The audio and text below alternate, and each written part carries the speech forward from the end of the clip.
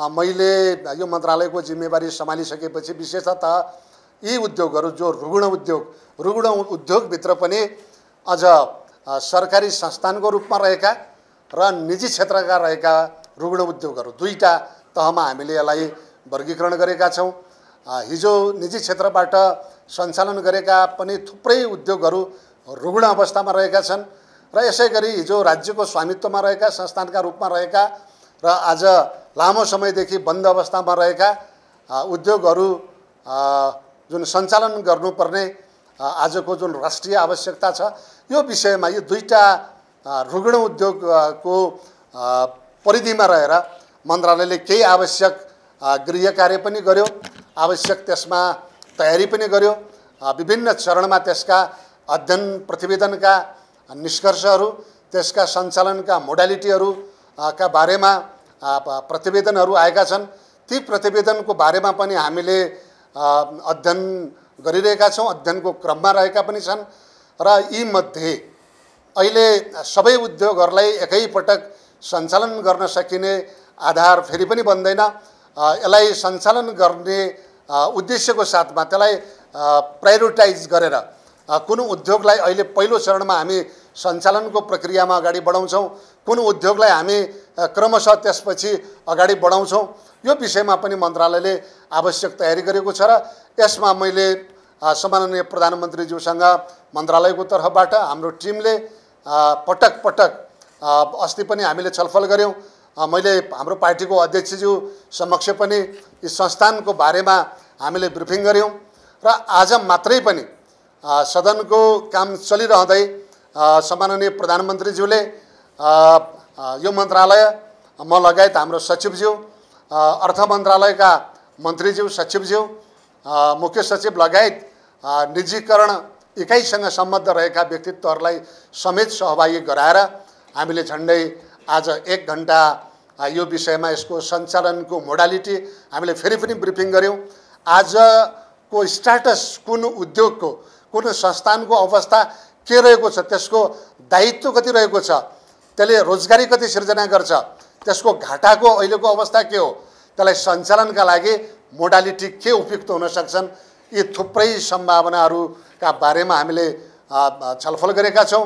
सम्माननीय प्रधानमन्त्रीज्यूबाट आवश्यक केही निर्देशन भएको छ र मूलत हामीले नीति तथा कार्यक्रममा उल्लेख गरिएका उद्योगहरू खास गरी गोरखकाली रबर उद्योग यसै गरी बुटवल कपडा उद्योग यसै गरी हेटौडा के अरे बुटवल धागो उद्योग हेटौडा कपडा उद्योग लगायत उदयपुर सिमेन्ट को आजको जे अवस्था बनेको छ विराटनगर जुट मिल लगायतका उद्योगहरूलाई पहिलो चरणमा हामीले यसलाई सञ्चालन गर्नको लागि थप मन्त्रालयले अझ आवश्यक तयारी छलफल अध्ययन अ, का निष्कर्षहरूलाई अझ सूत्रकृत गरेर पेस गर्नको लागि सम्माननीय प्रधानमन्त्रीज्यूबाट आवश्यक निर्देशन आज मात्रै प्राप्त भएको छ।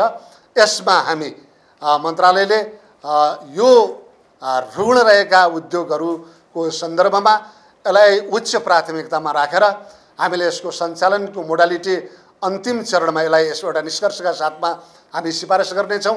मन्त्री परिषदमा यसले प्रवेश गर्नेछ र त्यसपछि हामी यसलाई लगानी को का लागि मोडालिटी तय गरिसकेपछि लगानीको लागि हामी आह्वान गर्नेछौँ खुल्ला आह्वान गर्नेछौँ र सम्बन्धित उद्योग जो आज ऋण अवस्थामा रहेका छन् तिनीहरूको कुन मोडालिटीमा कसलाई सञ्चालन गर्ने कुराको अन्तिम निष्कर्ष हामी क्याबिनेटबाट टुङ्ग्याउनेछौँ र मलाई म यहाँहरूको बिचमा के भन्न चाहन्छु भने यी रुग्ण उद्योगहरूलाई सञ्चालन गर्ने कुरामा तपाईँहरूले चाँडै केही न केही आशाका किरणहरू तपाईँहरूले देख्नुहुनेछ। नवप्रवर्धनकारी एवं सृजनशील सोच मार्फत उद्यमशीलता विकास गर्न राष्ट्रिय स्टार्टअप उद्यम नीति दुई हजार एकासी स्वीकृत भई कार्यान्वयनमा ल्याइएको छ।